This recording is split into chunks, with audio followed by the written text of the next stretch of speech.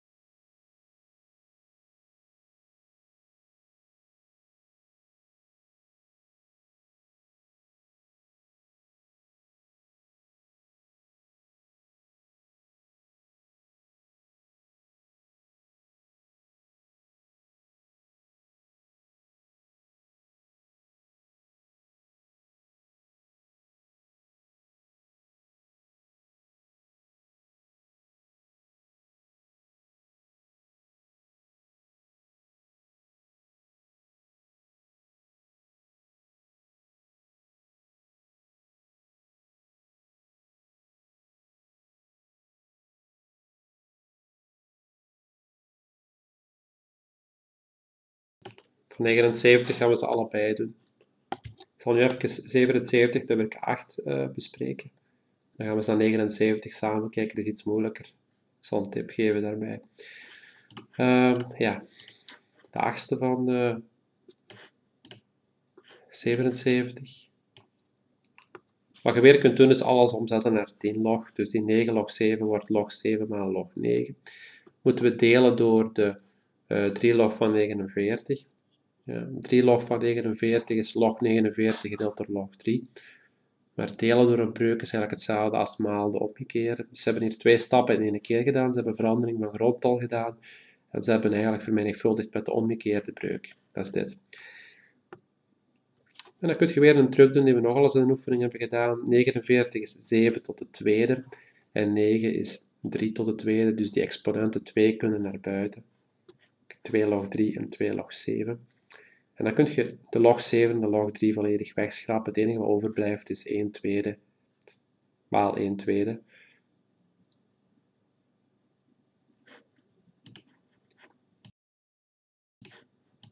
Sorry, ja, ik hoor het. Ja, ik, had, uh, ik had het uh, vergeten om te switchen, dus dit is het. Hè.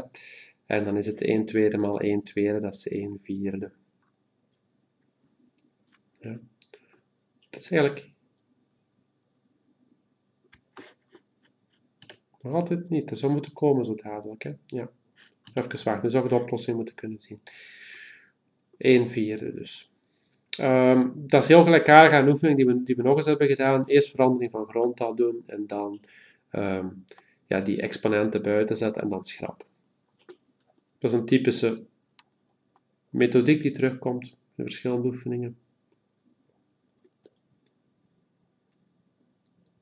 Dat was dus oefening 77. Gaan we zo eens kijken naar oefening 79.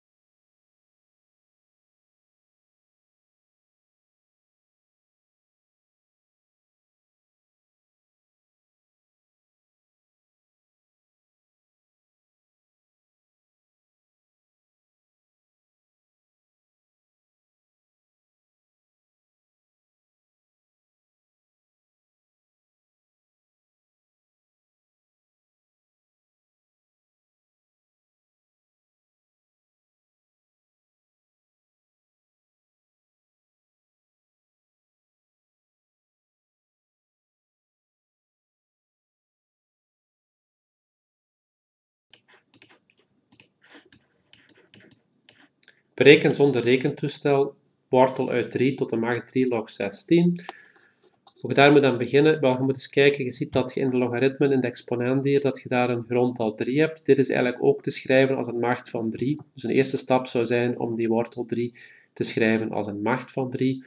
En dan moet je een beetje rekenen om dat op te lossen. Je moet rekenregels gebruiken van logaritmen, maar ook zo'n beetje van machten. Beetje puzzelen en dan zou je dat moeten kunnen uitkomen. Dus de tip is, de eerste stap is wortel 3 schrijven als een macht van 3. En dan hier zit je een combinatie van verschillende soorten logaritmen met verschillende grondtallen, 4, 8, 16 en zo verder. Kunnen we daar misschien verandering van grondtal opnieuw proberen en dan eens kijken wat er uitkomt. Ja, dus dat is 79. Moesten er al mensen klaar zijn met 79, kunnen die 82 proberen. Daarvan maken we nummers 1, 2, 4 en 5.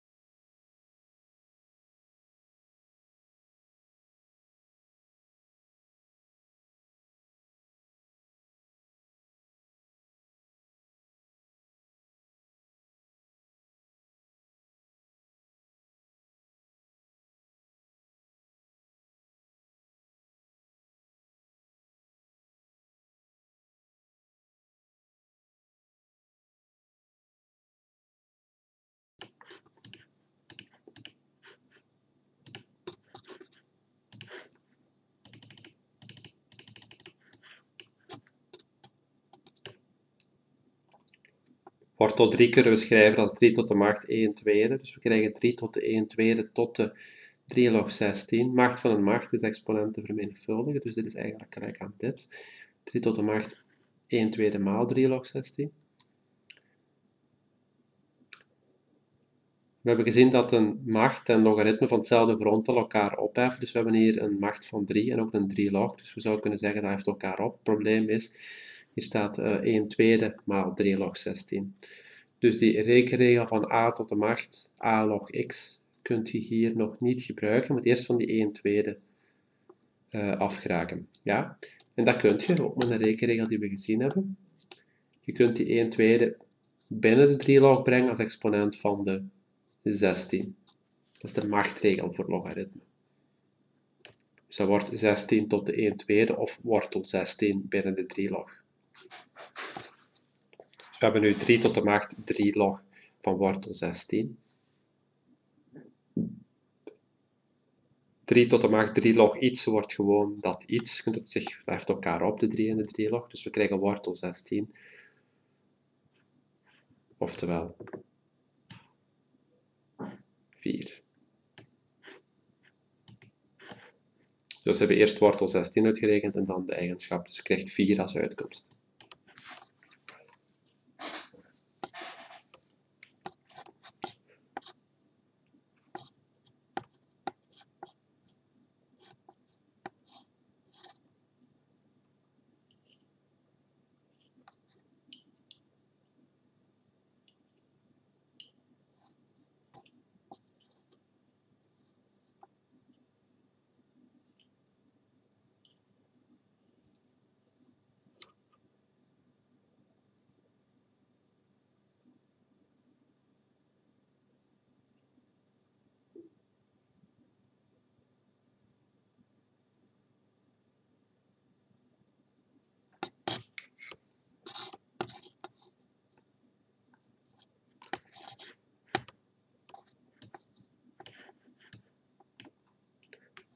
Nummer 2 ga ik alles omzetten naar 10 log.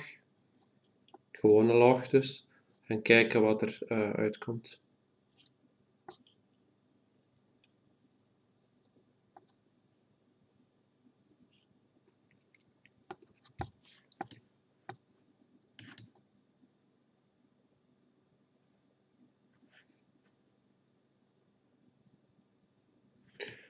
Zij, zij doen iets anders. Zullen we dat ook maar even op die manier doen. Hebben we de juiste notities. Maar gewoon naar log omzetten ze ook gaan. Maar wat je ook kunt doen is een ondergrond al pakken. Je ziet 4, 8, 16. Dus je zou alles kunnen omzetten naar 4 log ook. Bijvoorbeeld. Ja, dat allemaal veelvoudig zijn van 4. Dat is ook altijd handig. Gemeenschappelijk grond al kiezen. Maar met 10 log gaat het, gaat het ook. Dus we gaan alles omzetten naar 4 log hier, toch? Dus dat wordt 4 log 3. We gaan deze omzetten naar 4 log, die ook, die ook, die ook, die ook. Allemaal. Met de rekenregelverandering van Groldo, dan krijg je een breuk met heel wat breuken in, zoals je ziet. Dat wordt 4 log 4 gedeeld door 4 log 8, 4 log 5 gedeeld door 4 log 16, 4 log 3 gedeeld door 4 log 8, 4 log 4 gedeeld door 4 log 16 en hier 4 log 5 gedeeld door 4 log 32. Oké, dus je hebt een vermenigvuldiging, een teller en noemer, dus je kunt heel wat gaan schrappen hier. Um, zij schrappen dat zo. Als je dat zo niet goed kunt, kun je zeggen van ik ga deze drie breuken hier omkeren en er gewoon achter zetten, uh, vermenigvuldigen. Dat gaat ook, hè. deel door een breuk is vermenigvuldigen met omkeren. En dan gaat je zien dat je heel wat kunt wegschrappen. Die 4 log 3 bijvoorbeeld hier, 4 log 5 ook, 4 log 16, 4 log 4, 4 log 8, kan allemaal weg. Het wat overblijft is hier de 4 log 32. Ja, staat in de noemer, maar ja, in de noemer van de grote breuk ook. Dus dat wordt eigenlijk, komt dat in de teller terecht. Dus wat overblijft is 4 log 32.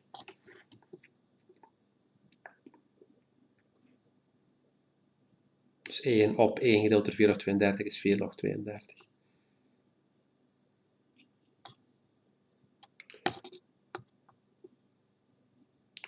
Moeten we dus weten tot welke macht we 4 moeten verheffen om 32 uit te komen. Dat is op het eerste zicht misschien niet zo gemakkelijk.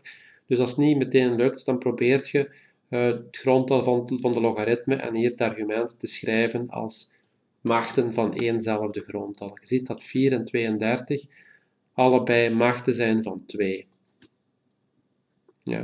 Dus dit is eigenlijk 2 tot de tweede log van 2 tot de vijfde.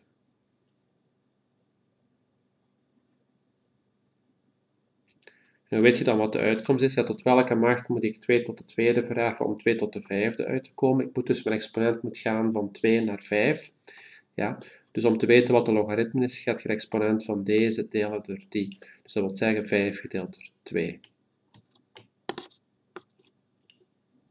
Dat hebben we nog gedaan. Dus 2 tot de tweede log van 2 tot de vijfde is altijd 5 tweede.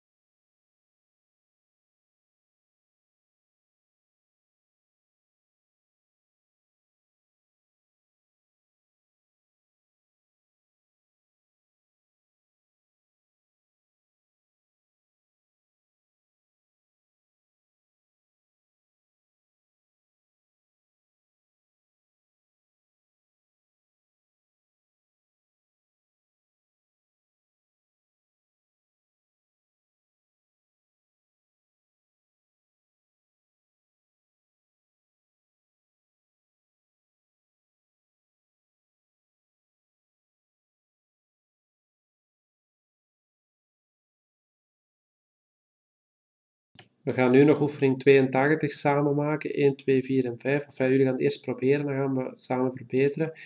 En dan de logaritmische functies, ik had opgeschreven voor vandaag, we zo dat volgende keer doen. Het is niet meer de moeite om daar nog aan te beginnen voor vandaag. Makkelijker als we dat morgen doen. Ja, dus we maken oefening 82 af en dan is het einde van de les.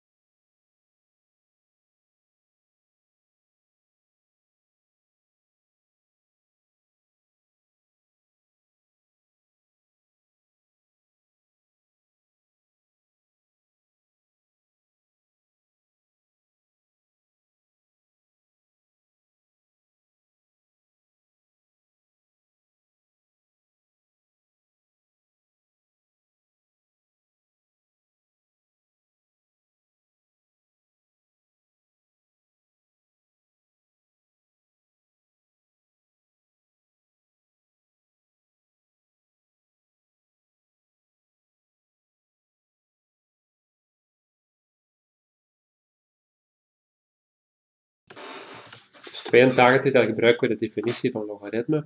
We gaan beginnen met de eerste, ik zal die even laten zien. Uh, ehm, 2 log van x plus 2 is 4. Dus we zijn de x plus 2 aan het zoeken. De manier om die te vinden is om de definitie te gebruiken en het op een andere manier te schrijven. Dus als de 2 log van x plus 2 4 is, dan weet je dat uh, eh, 2 tot de 4 gelijk is aan x plus 2. Dat is de definitie. Hè? Die 4 is de macht waartoe je 2 moet verheffen om x plus 2 uit te komen. Dat schrijven we zo op.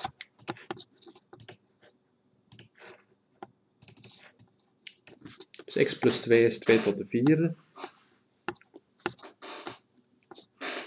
En dan kun je x zoeken. Ja, 2 tot de vierde is 16. We moeten de 2 overbrengen, dus x is 14. Ja, dus je gaat al die logaritmes die daar staan omschrijven naar, uh, via de definitie en dan de x daaruit halen. Dat is alles wat je moet doen.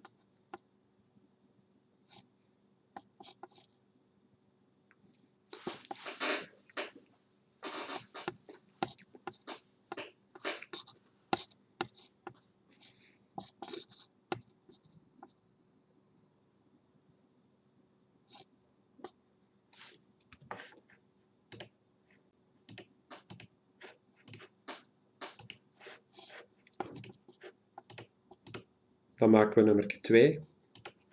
5 log, log van 2x min 5 is 0. We doen dezelfde manier. 5 tot de nulde is 2x min 5.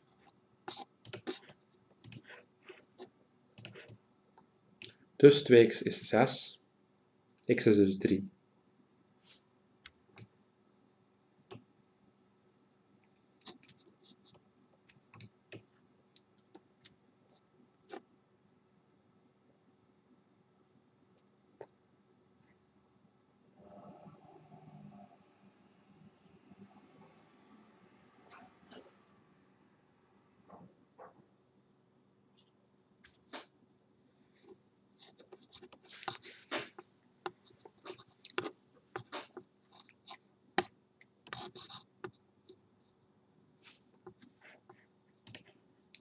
Maken ook nog nummer 4 en nummer 5 en die zo dadelijk verbeteren en dan stoppen we ermee voor vandaag.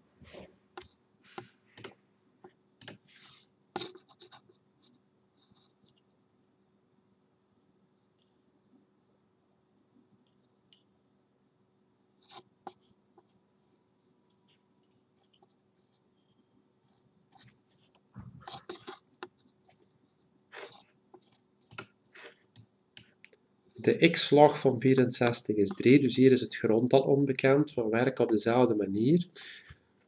3 is de macht waartoe je x moet verheffen om 64 uit te komen, dus x tot de derde is 64, krijgen we dan als vergelijking. Dus x is 4.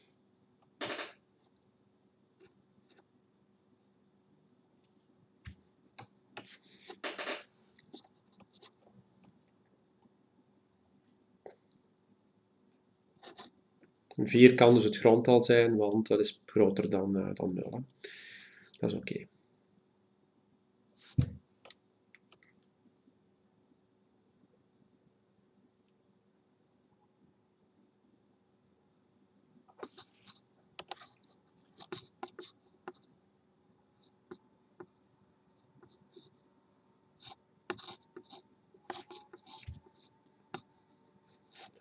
Dan de laatste oefening, de vijfde.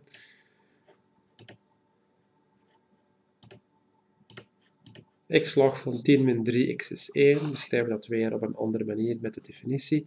Dus we weten dat 10 min 3x gelijk is aan x tot de eerste.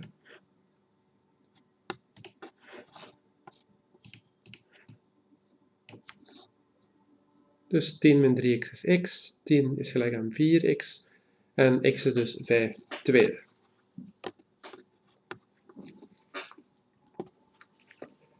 10 vierde is 5 tweede.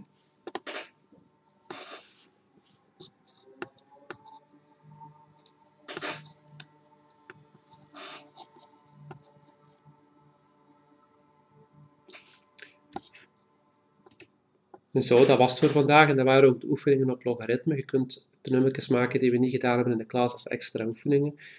Mocht me er altijd vragen over stellen als er iets niet duidelijk is. Het is de bedoeling dat je veel oefent, dat je het echt onder de knie krijgt. En volgende les beginnen we dan aan uh, 5.4, de logaritmische functies. Dat is voor morgen het volgende lesuur. Oké, bedankt voor jullie aandacht en tot morgen.